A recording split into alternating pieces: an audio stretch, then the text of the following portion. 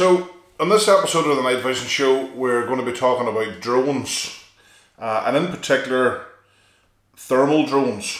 And it's something that we have recently only started to uh, get into in a, in a bigger way at Scott Country. These are probably one of the best, most affordable drones out there. It's a it's an Autel Evo 2 version 3 uh, this is the enterprise model. I'll, I'll, go into a bit more of that in detail in a second. So this has a 640 by 512 sensor thermal camera on the front, along with a normal, I think it's a 4K uh, optical camera built in as well on the gimbal here. Uh, the optical camera has a 16 times zoom, as does the thermal. So we'll just go through a few of the, the, the specifications of it so far. Uh, 42 minutes runtime on a single battery, on a single charge. Uh, it comes in the box there with three batteries. It has a nine mile radius uh, from, from where you're flying, nine mile range.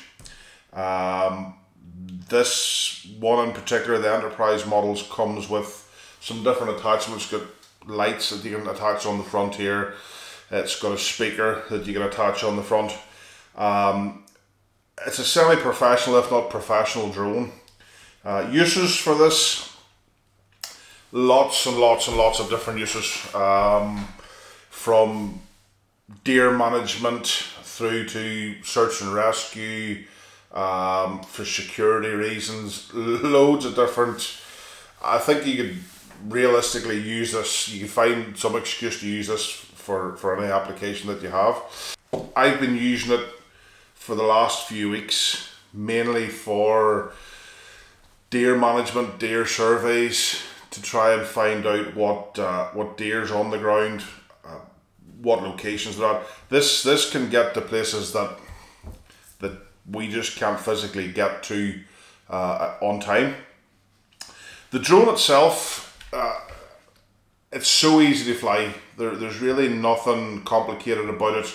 To deploy the drone, it realistically it folds up into something that's very very small, very very compact. As you can see from that, the controller for this one, we'll go into a wee bit more detail on this in a second. It comes with its own controller with its own built-in screen so you don't actually have to use an iPhone or anything like that for it. There's other applications that this is very good for. Security, for example, if you own a large estate, a large piece of ground that you don't want people there, you don't know if people are there or not. Within one minute you can have this in the air. You can fly it directly using the thermal camera. You can see exactly where the people are that, that you want to interview or want to see what they're doing. You've got the speaker on there, you can fly this, uh, you know, a few hundred feet away from them, ask them to leave the property. That's just one of the many applications that it has. Search and rescue, for example, the thermal camera side of this, as I say, it's a 640 512, it's 30 frames per second. You could fly this out to somebody on the side of a mountain who's lost, who's injured, fly it above them with the speaker, communicate with them, tell them listen, we've found you, help's on its way, don't move, whatever the message is, and it, and it can all be done within seconds.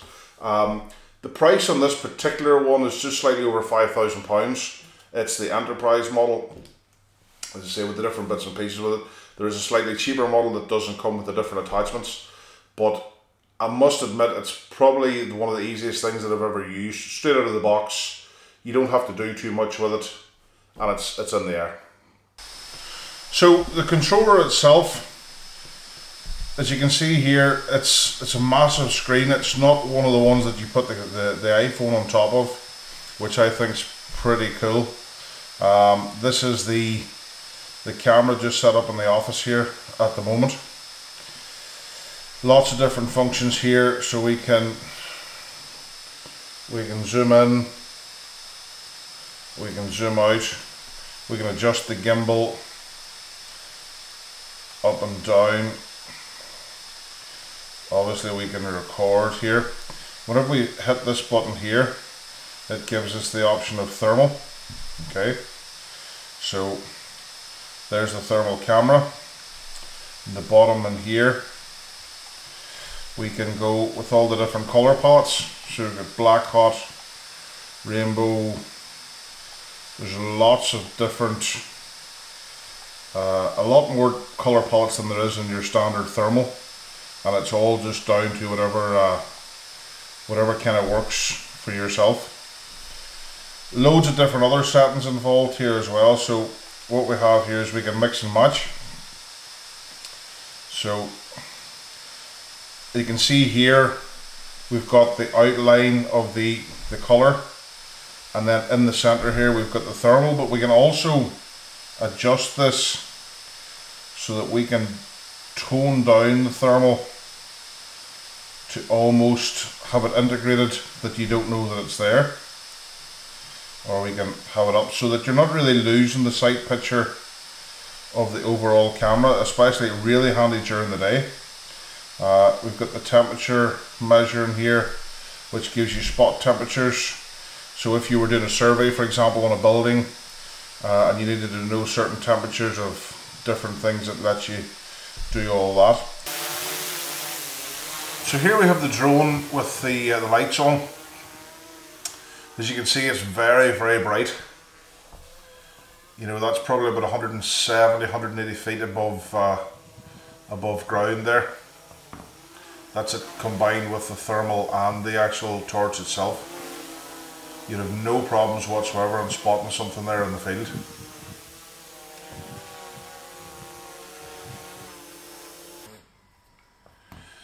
So here we have, just to show you how easy it is to lift the drone, how to fly it.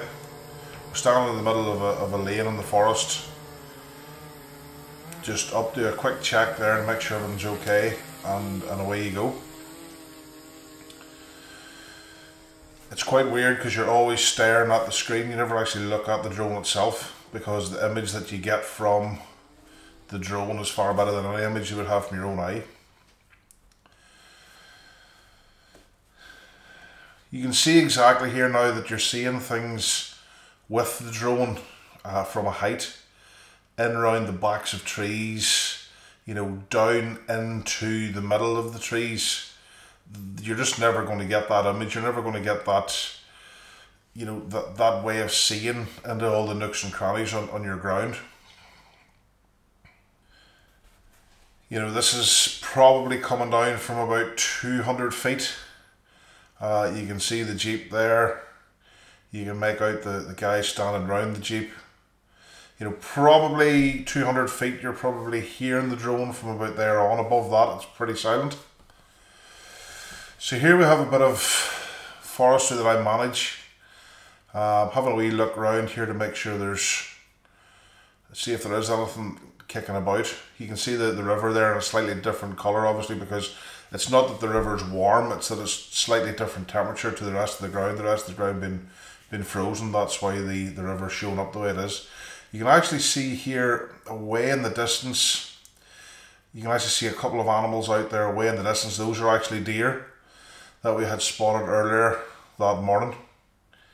Uh, that I knew were there, but this was a different part that we were having a wee recce around.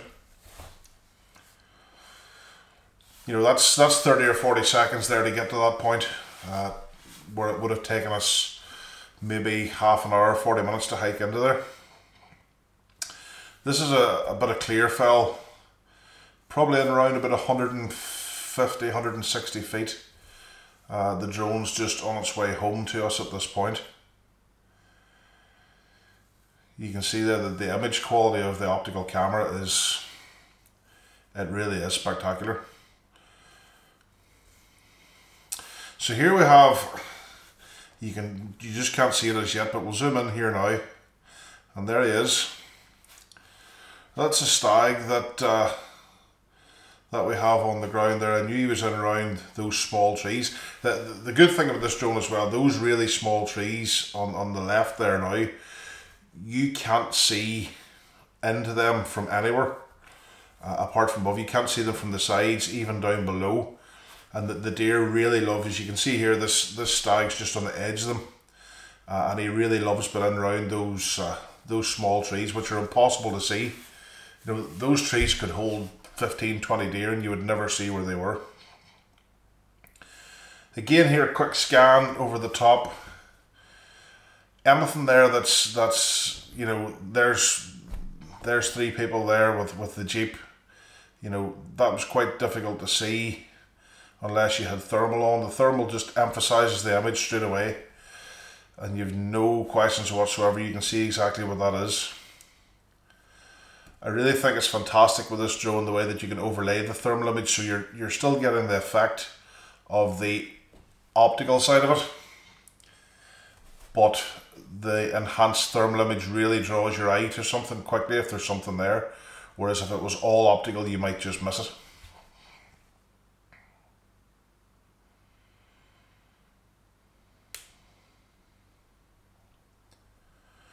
Again, search and rescue, if that was somebody that was in distress, we would have the speaker on there, we'd be able to talk to them. So, there we have uh, a bit of footage there that we've went through. You saw a few deer there, different heights, different thermals, different sizes.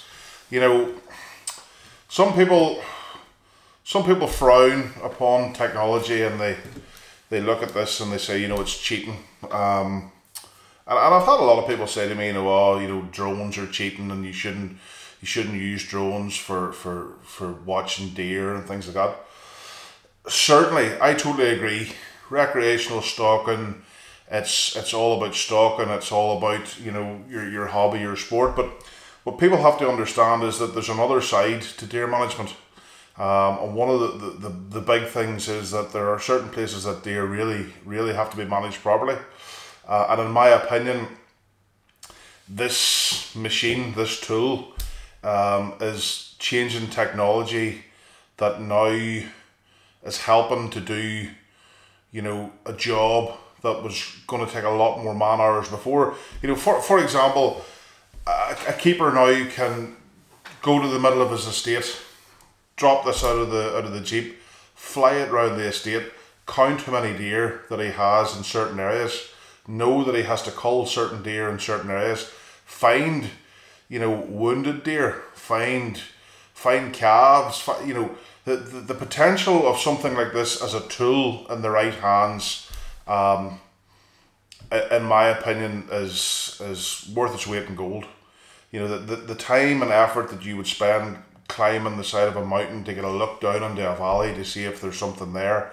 Uh, when this in 30 seconds can be there, you know, from the deer, the deer management point of view, in my, in my opinion, I think it's a no-brainer. You know, the same people also have said to me, you know, that the thermal imaging, handheld thermal imaging is cheating as well. You know, if you wanted to go back, and I, I say this all the time, if you want to go back to, you know, when the telescopic sight came out, I'm sure it was cheating when, when, when guns came out and they used to use bow and arrows, I'm sure it was cheating. So what I'm trying to say here is technology evolves and it's how we use it to its advantage to help to do a job uh, and to minimize to minimize hours and, and to make the job more productive. So that, that's my take on, on the drones. Um, I think it's a wonderful piece of kit. I don't think it's too badly priced, if I'm honest. Uh, there's other different thermal imagers, handheld thermal imagers out there that are, are in around the same kind of money. Um, so take a look at these. They're on our website. They're on Autel. We've got a few different ones there. You can see them all at www.scottcountry.co.uk. Uh, and if you have any questions, drop a comment here in the box. Um, send us an email. Give us a call. We're more than happy to, to, to let you see this.